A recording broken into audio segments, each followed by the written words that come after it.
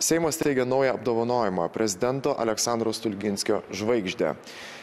Kokia tai buvo asmenybė, kalbame su istoriku Seimo lankytojo centro patarėju Artūru Svarausku.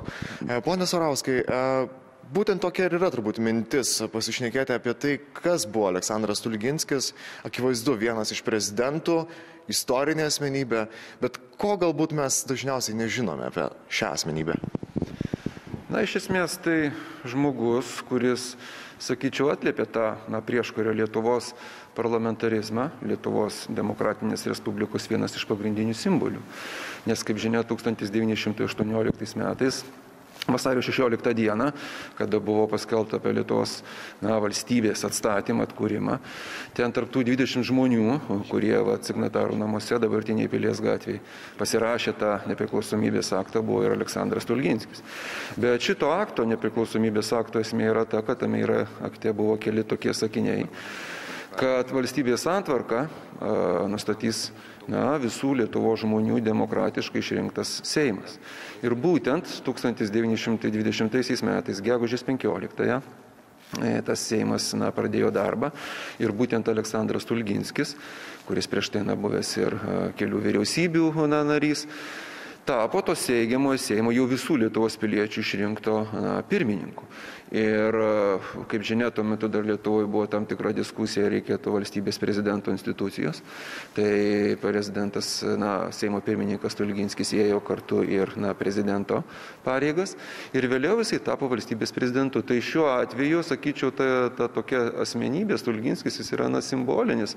Jie labai tiesiogiai netgi yra sėtina su lietuvišku parlamentarizmu ir Lietuvos Respublika.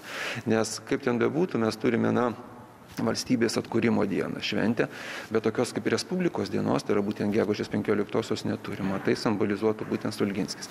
Ir čia žinoma jo, jo kaip asmenybės, na, tam tikras, sakyčiau, na, jis, vat, kaip žmogus, e, jis buvo toks, nesakyčiau, gal toks, na, tipinis lietuvis.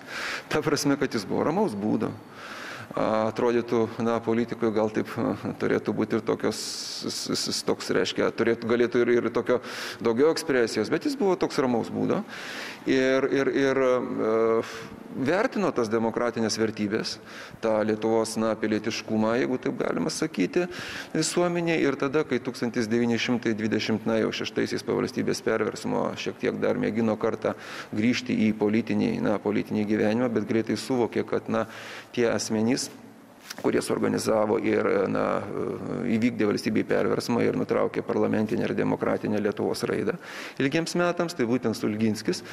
Vienas iš pirmųjų, kuris iš karto 1927 metais atitolo labai greitai nuo politikos ir pasitraukė iš Kauno ir, ir važiavo į, į, į, į Kretingą ir ten užsiminėjo žemės ūkių. Čia, tai matyt, reprezentuoja labai gerai jo tą požiūrį, kad reiškia jisai e, siejo save su demokratiniu parlamentiniu valdymu ir tai savotiškas tylus tas toksai pasitraukimas iš Kauno, atitolimas nuo politikos, nesiekimas kažkokių aukštų postų, išvažiavimas būti į tą Jokubavo dvarą, į Kretingos ten valšių, dirbo savo mėgstamą darbą, ten veisė augalinkystę, užsiminėjo sodininkystę, tai ir parodo, kad žmogus, na, kaip jis galėjo, taip jisai, na, ir tą lietuvišką, kaip čia pasakyti, protestavo prieš, prieš demokratinio režimo su, su, su reiškia, nutraukimą Lietuvoje. Labai, na, svarbi Lietuvai asmenybė, toksai, na, tarpukario didvyris valstybės vyras.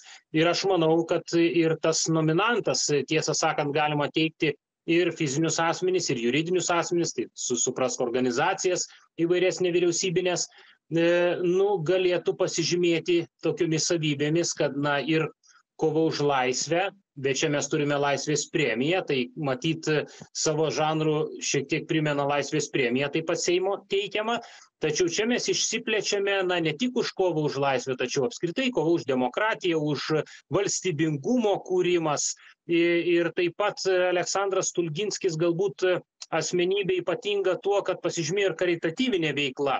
Humanitarinę paramą telkė, e, jis buvo subūręs e, organizaciją nukentėjusiems nuo karo šelbti draugiją, e, kuri rūpinosi tiesiog maitinimu, tiesiog paprastais ūkiškais logistiniais dalykais žmonėms remti. Ir pats jisai, ir kaip agronomas ten ir augino, ir, ir dalino tas daržovės maistą, tai žmogus, na tikrai labai geros širdies, nuoširdus, tikrai kartu ir vatėjęs ir prezidento pareigas, ir Seimo pirmininko, tai labai iškilė asmenybė. Manau, manau, jis pats na, yra įkvėps ir jo teikėjus ieškoti atitinkamos lygio e, e, na, asmenybių ar, ar organizacijų, kurios galėtų pretenduoti tą žvaigždę. Reikėtų suskupti, nes teikimas numatytas iki vasario 20 dienos ir vėliau ten iki balandžio 19 ar panašiai, jau komisija turės apsispręsti, jau ir bus paskelbiama, kam kam įteikiama. Tai raginu visus piliečius ir organizacijas e,